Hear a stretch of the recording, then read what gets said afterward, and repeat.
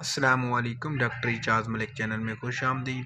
दोस्तों, कैसे हैं आप? उम्मीद करता हूँ तमाम दोस्त बखैर वाफ़ियत से होंगे।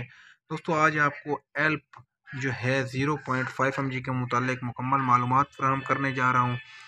दोस्तों, अगर आप हमारे चैनल पर नए हैं तो डॉक्टर इजाज़ मलिक को लाजमी सब्सक्राइब कर लें और साथ में लगे बेल के आइकन पर लाजमी क्लिक करें ताकि हमारी हर नए आने वाली वीडियो का नोटिफिकेशन आप तक बसानी पहुँचता रहे सबसे पहले एल्प जो है, इसकी कंपोजिशन की बात करते हैं।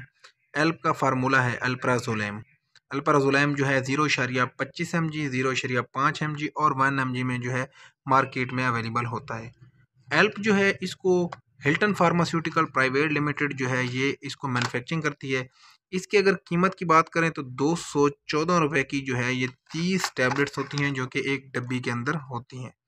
उसके अलावा दोस्तों एल्प टैबलेट्स जो है, इसको इस्तेमाल किया जाता है टेंशन के लिए, परेशानी के लिए एग्ज़ाइटी के लिए, इसका इस्तेमाल बहुत ज़्यादा किया जाता है। ऐसे अफराद जो कि टेंशन का शिकार हैं डिप्रेशन का शिकार हैं तो ऐसे अफराद के लिए एल्प बहुत ज़्यादा बेहतरीन टैबलेट्स है। उसके अलावा दोस्तों, वहम के मरीज़ों के लिए भी एल्प टैबलेट्स का इस्तेमाल किया जाता है।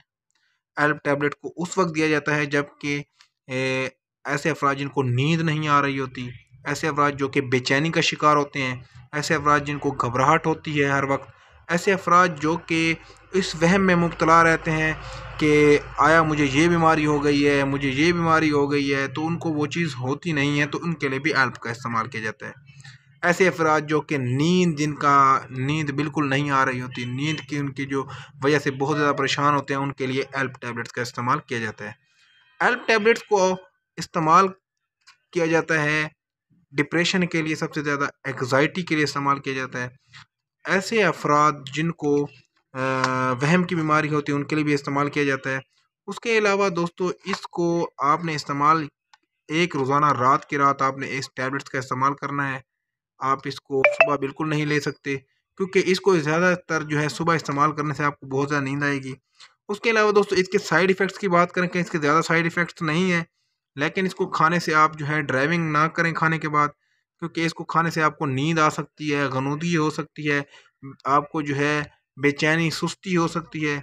उसके अलावा इसको ज़्यादा खाने से जो है आप कोमा में भी जा सकते हैं। उसके अलावा दोस्तों, इसको ज़्यादा खाने से आपके मैदे के अंदर अल्सर भी हो सकता है, आपको उल्टी आ सकती है, आपको कै आ सकती है। उसके अलावा दोस्तों, इसके ज़्यादा साइड नहीं है। तमाम दवाएँ जो हैं, आपने अपने डॉक्टर के मशवरे के मुताबिक इस्तेमाल करनी है।